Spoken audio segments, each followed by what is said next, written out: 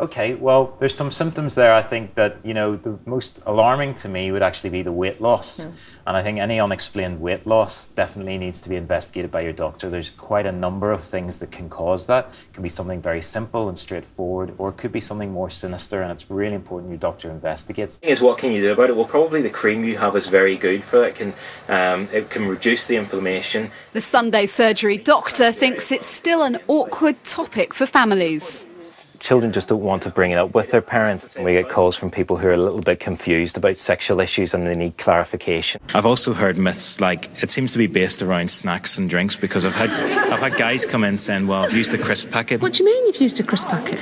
Instead of a condom. No. Yeah. Well, E. coli is a bacteria that lives in the guts of both humans and animals.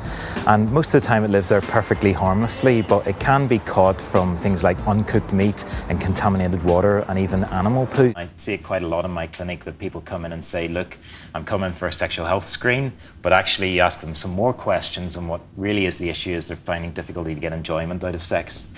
Certainly the first stage is that if you've been with a partner for a long time, you need to talk to them about it they may already know that there's some issue there mm. in terms of achieving orgasms, but just be honest about it. Say, look, I'm not enjoying sex the way I think I should be.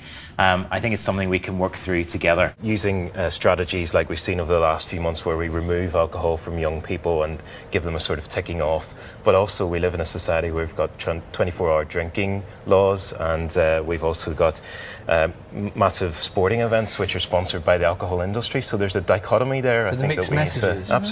And young people get very confused by